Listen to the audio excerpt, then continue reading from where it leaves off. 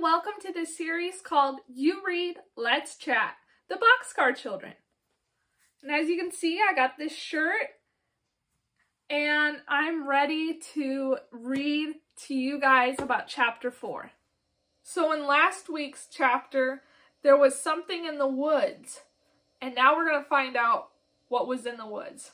It was a dog with a sore paw. Jessie pulled a thorn out of his paw and then she wrapped a wet washcloth around his paw. She held the dog while Benny and Violet picked blueberries.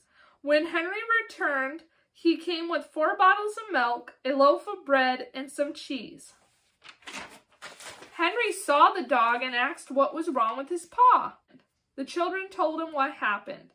Henry said that he was a fine dog and would make a good watchdog, so Benny named him Watch. So thank you for watching.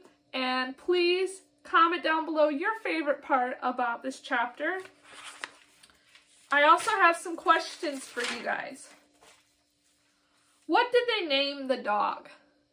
What was in the dog's paw? What was Henry's two surprises? Let me know in the comments down below.